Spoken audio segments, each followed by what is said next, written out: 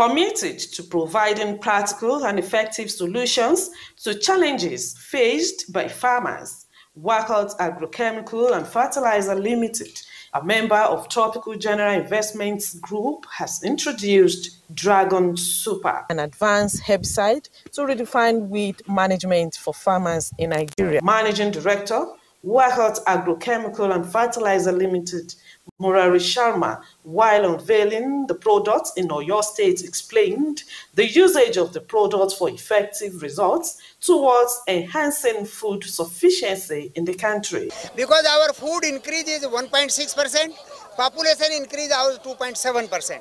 So there is a biggest challenge of food security. This technology of Dragon Super, it is a wonderful technology in the world. And now, after America and Germany, we brought in Nigeria. What is the specialty of this product is half dose, all molecules available in Nigeria, only this product is having half dose and result double. This is actually 1 liter, it is requires 1.5. 1.5 it uh, means it requires 10 actually knapsack. So this 1.5 divided by 10 knapsack, 150 ml per knapsack we used to use. Very easy. So our dose is 150 150 ml per, per knapsack. So it will be almost 1.5 liter per hectare. Across the 33 local government areas, they are gathered here. We have about 5,000 farmers as we speak to witness this. So we chose the same because it seems to be a central point for all the farmers to come around and we launch it here. Actually, this is more for the strategic for the country, not for us. Because what happens it changes the life of the farmers.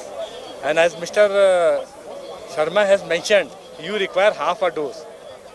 So it basically will change the life of the farmers. It will improve their uh, earnings and farmers and distributors are appreciative of the products. Super so it's one of their products from the WACOT. So uh, that Dragon Super is very, very effective.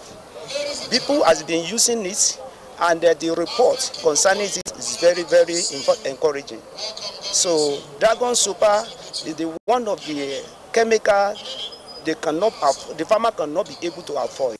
Some users of the product were recognized for using Dragon Super since its launch in Abuja.